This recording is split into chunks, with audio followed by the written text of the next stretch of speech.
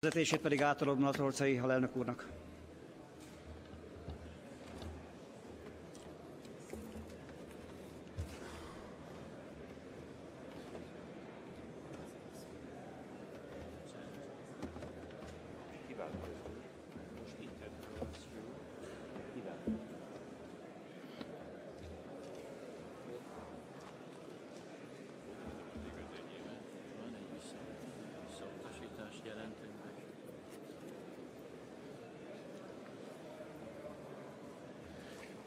Tisztelt képviselőtársaim! Tájékoztatom Önöket, hogy az országgyűlés elnöke a házszabály 90. szakasz 4. bekezdésének 91. szakasz második bekezdésével kiterjesztett jogkörével élve, továbbá az Ügyrendi Bizottság 36 per 1998 2002 UB számú általános érvényű állásfoglalása alapján Schneider Tamás képviselő úr K per 3463-as számon benyújtott szóbeli kérdését visszautasította, mivel a feltett kérdés nem tartozik a megkérdezett Réthelyi Miklós Nemzeti Erőforrás miniszter úr feladatkörébe.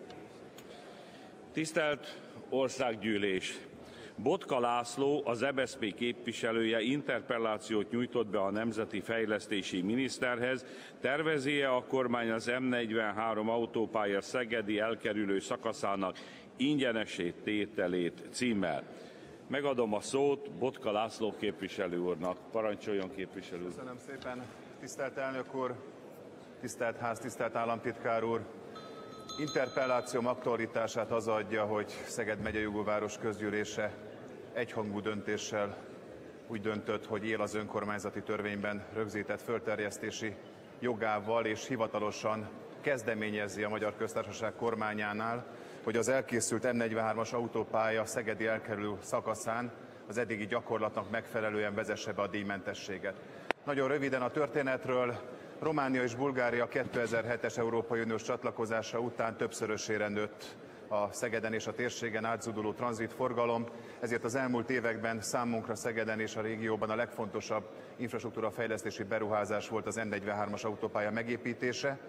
Óriási eredmény és sikerként értük el azt, hogy a 2007-től megnyíló Európai Uniós fejlesztési források az új Magyarország fejlesztési terv közlekedési operatív programján belül az első nagy beruházás, az M43-as autópálya, aminek az építése meg tudott kezdődni, és 2011 áprilisában hát a szokásos néhány hónapos csúszás után átadásra került ez az autópálya az új északi Móra Ferenc Tisza híddal egészen Makóig, tehát örömmel tapasztalhattuk, hogy Szeged megszabadult aztól a meglehetősen nehezen elviselhető tranzitforgalomtól, ami a város valamennyi fő közlekedési útvonalát érintette. Én már az autópálya átadása előtt jeleztem a minisztériumnak, hogy baj lesz abból, hogyha az az elkerülő útszakasz, ami az M5-ös autópályától a 47-es útig, vagyis a Hódmezővásárhelyi főútig tart, ez a néhány kilométer is fizetős szakasz lesz. Azt kértem, hogy a szabályzókat változtassák meg úgy, hogy lényegében ugyanaz a szabály vonatkozzon ránk, mint korábban minden autópálya építésnél, mint az M5-ösnél, Kecskemétnél, vagy pedig az M7-es autópálya esetében a Székesfehérvári elkerülő szakasznál, vagyis hogy Magyarországon minden a nagyvárosoknál elkerülő útként is működő autópálya szakaszok, azok nem tartoztak a matricás rendszerben. Én megkaptam a tisztelt minisztérium válaszát, a minisztérium válasza az úgy szólt, hogy a kormány nem tervezi újabb díjmentes szakaszok bevezetését a magyar gyorsforgalmi vagy pedig autópálya építések után, és azt jelezték nekem, hogy 2013-tól tervezi a kormány a jelenlegi matricás rendszerről az átállást a sokkal igazságosabbnak vélt, eh, valójában a úthasználat alapján levő fizetési rendszerre. Én szeretném jelezni, hogy mi Szegeden és Csongrád megyében, hiszen nem csak a Szegedi közgyűlés, de a Csongrád megyei közgyűlés is egyhangulag szavazott a M43-as díjfizetés aluli kivonása mellett azt szeretnénk jelezni, hogy egyrészt nem ismerjük még ezt a 2013-tól bevezetendő új rendszert, nem tudjuk, hogy jó-e vagy nem jó. Két dolgot egészen biztosan tudunk. Egyrészt, hogy ezt a problémát nem oldja meg, másrésztről pedig 2013 az legalább még másfél esztendő, tehát mindenképpen szeretnénk kérni, hogy erre a szakaszra is az vonatkozon, ami eddig szabályként vonatkozott Magyarországon minden elkészült autópálya építés után. Tisztelettel kérdezem államtitkár urat, hogy tervezi a kormány az M43-as autópálya Szegedi elkerülő szakaszának ingyenessé